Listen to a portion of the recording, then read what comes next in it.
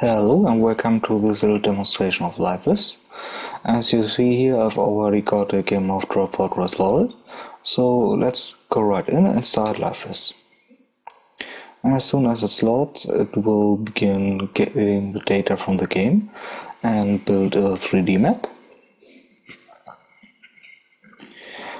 While it's building we can already move it around, this would slow it down a bit I should also note that uh, it will run a bit slower since I'm recording and compressing the video at the same time here.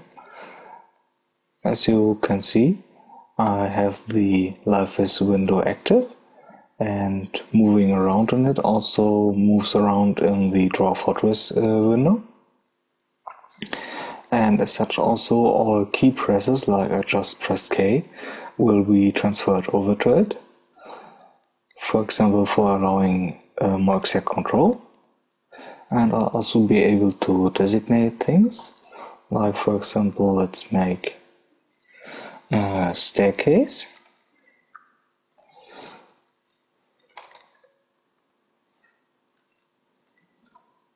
And now we can unpause the game. And soon a miner should come by and dig it out. There we go and we now have a staircase. There we go. Updates of the landscape won't be as fast at the beginning as they don't uh, happen very often. But if you want, you can uh, change that in the config. You will also notice that we can see uh, the dwarfs here.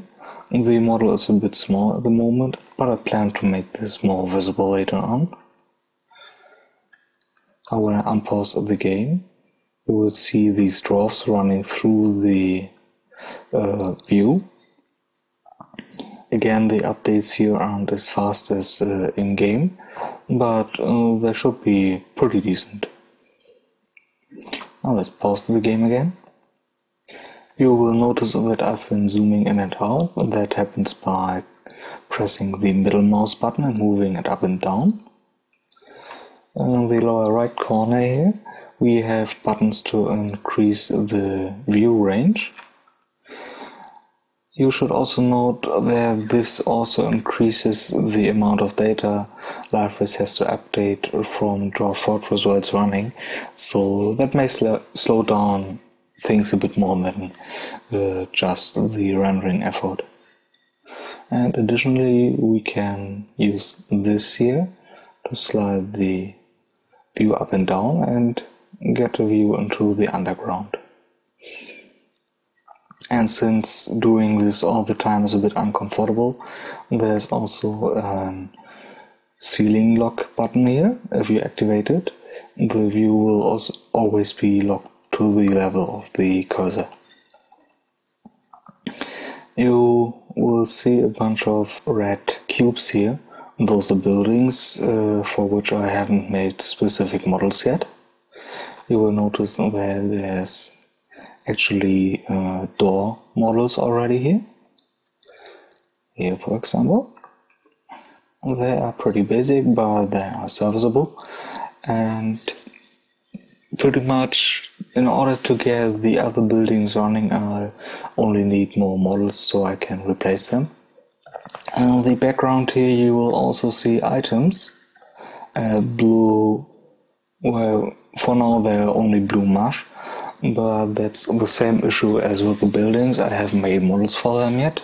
However, I already do have the ability to uh, differentiate between them and pretty much only need the graphic assets. You also have another building for which I made a model here, a workshop. See, it has a raised floor and the squares of one. And well, for now, that's it.